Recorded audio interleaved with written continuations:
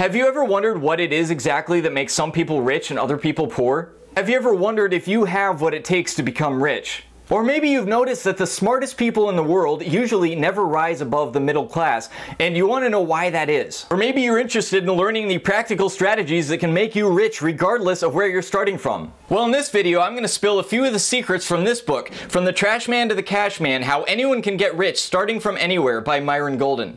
By the end of this video, you'll know what kind of financial house you live in, which of the four panes of the window of opportunity you fit into, and why it's better to be a VM than a VP.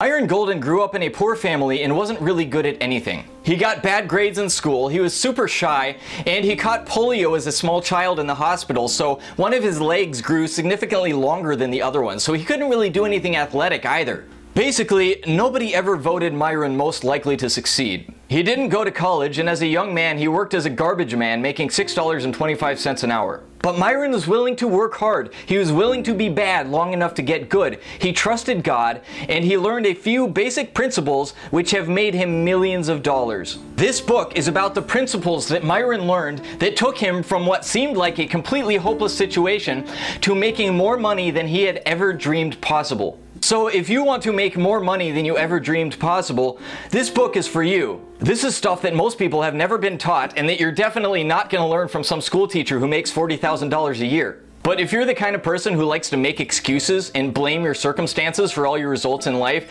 then this book is definitely not for you.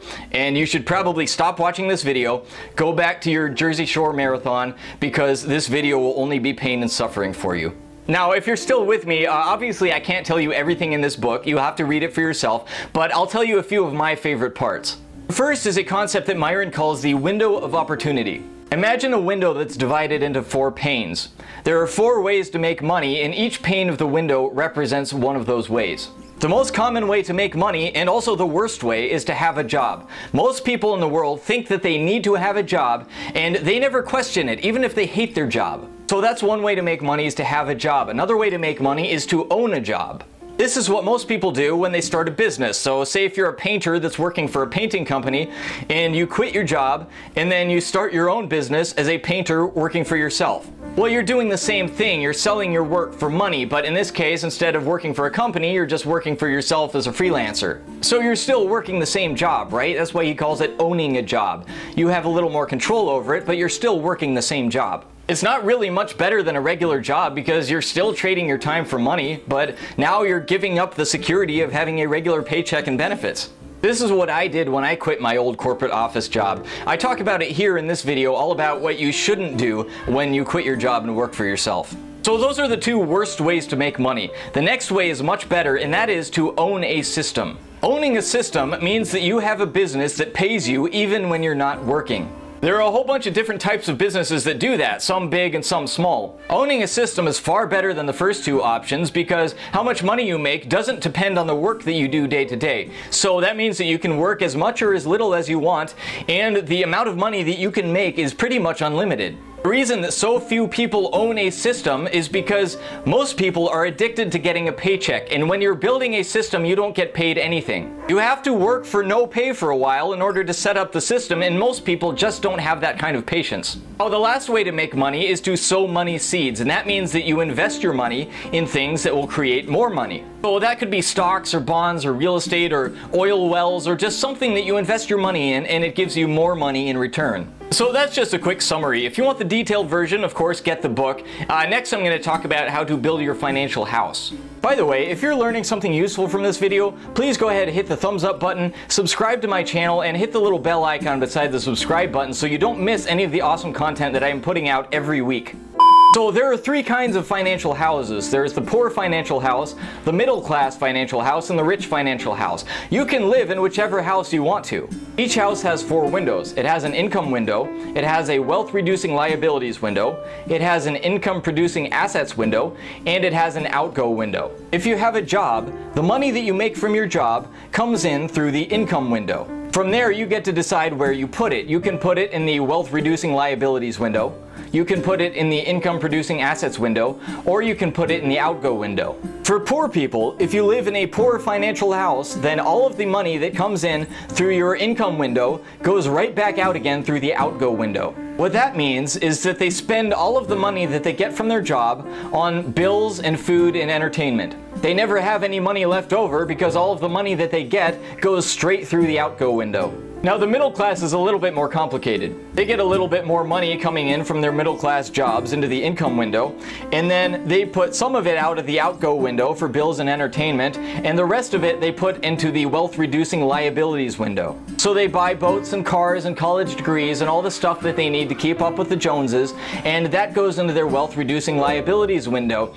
And that usually is financed with debt, so they have to pay the interest on the debt, which goes into the outgo window, and they have to pay for maintenance on some of that stuff. So all of the wealth reducing liabilities that they are accumulating for themselves are increasing the amount of money that they have to put back through the outgo window. So at the end of the day, they're kind of putting themselves in the same situation as the poor because all of the money that they get is servicing the debt on the stuff that they didn't need, as well as their basic bills and entertainment. Now let's look at the financial house of the rich.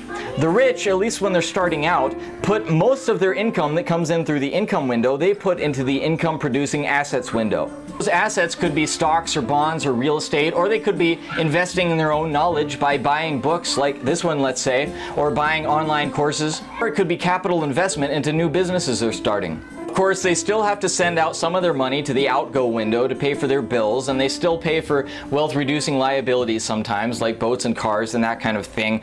But the difference is that they put most of their money into things that will make them money in return.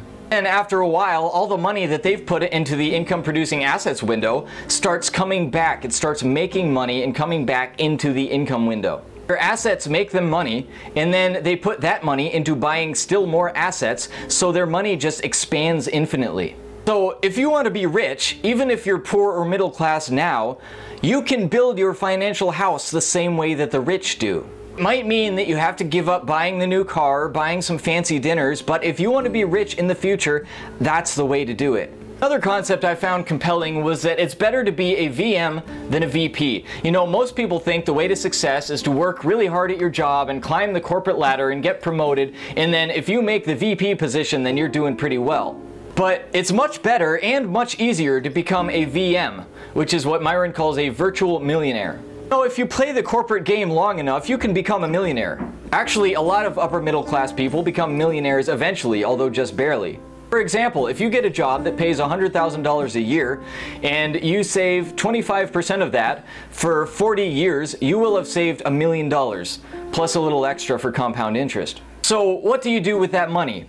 Well, if you invest a million dollars at, let's say, 6% interest per year, well, that means that you're making $60,000 per year from your investment. You probably don't want to spend the original million dollars because that means that you're cutting into your income. So basically, having a million dollars in the bank means that you get to earn $60,000 per year without working. So being a millionaire, if you're not working, means that you get to live a $60,000 per year lifestyle. But there are much easier, much faster ways to live that same millionaire lifestyle without having to slave away at that miserable corporate job for 40 years. The best way is to own a business system. So that means that you could have a website or you could have an e-commerce store or you could have an MLM business or you could have an affiliate marketing business. I mean, if you've been following my channel, which you should, definitely subscribe if you haven't already. Uh, I have a whole lot of specific ideas that you can do to build business systems just like this. Anyway, if you can create a system that brings in $60,000 per year of passive income, then you've created the same lifestyle for yourself as somebody who slaved away for 40 years at a desk job in order to make a million dollars. That means that you only have to make $5,000 per month in income to be living the same lifestyle as a millionaire. That's why it's better to be a VM than a VP. So that's just a small taste of the information that you'll learn in this book. I definitely recommend that you buy the book. I'll put a link in the description. If you want to learn more, I'm doing a special live web training all about Myron's material. It's called Wealth Mastery Secrets. So if you want to learn super in depth about where wealth comes from, why some people are rich and some people are poor, and how you can count yourself among the rich even if you come from a background like Myron where you're not really good at anything and it seems like everything is against you in life. That interests you, then sign up for the training. I'll put a link in the description. This is a live presentation, so I'm not sure how long it's going to be available, but it's a great opportunity to learn some of Myron's best secrets and to ask me anything that you might want to ask. And if you want some specific ideas about how to make money, even if you have no money to invest, check out this video. And of course, subscribe to my channel because I'm uploading videos every week to teach you how to live a life of freedom and purpose.